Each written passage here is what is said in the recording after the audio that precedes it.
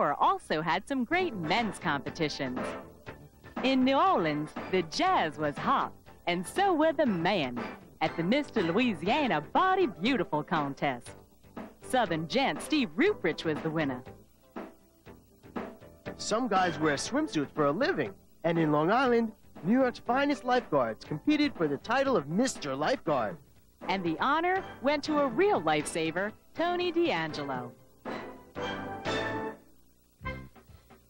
Now, let's go to the videotape for a recap of the men's winners in the Bikini Open 4. Do you remember who the winner was? The men's winner of Bikini Open 4 is a southern gentleman from Louisiana who looks like a Greek god. Meet Steve Ruprich, the Bikini Bowl finalist, number four. Here's the lowdown on Steve, the fourth contender in today's Bikini Bowl.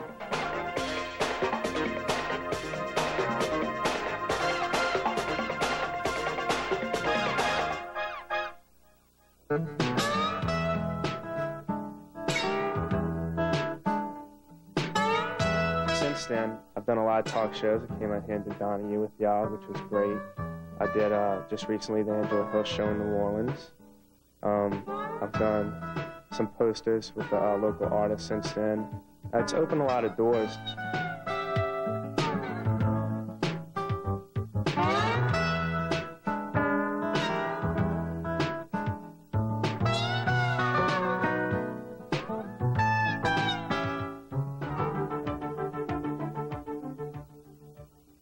I'm 22 years old. Uh, I was born in New Orleans, Louisiana. I've lived here all my life. I'm a student at Delgado in general science, and I'll be graduating in a year and uh, probably going into physical therapy school. I'd like to be a physical therapist uh, and also a nutritionist. I'm real shy, um, I'm kind, uh, and I do anything for anybody who, who's my friend.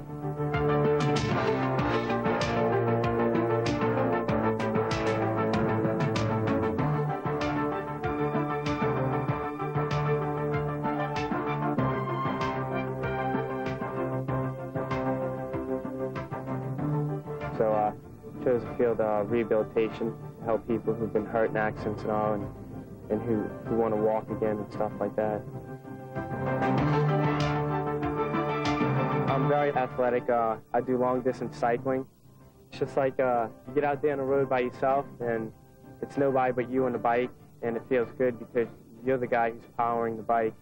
It's, uh, it's a good sport.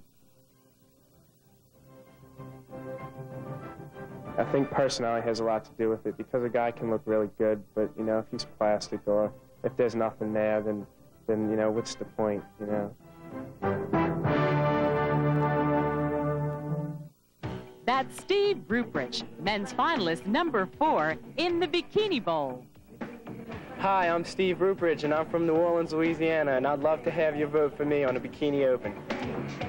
Now's your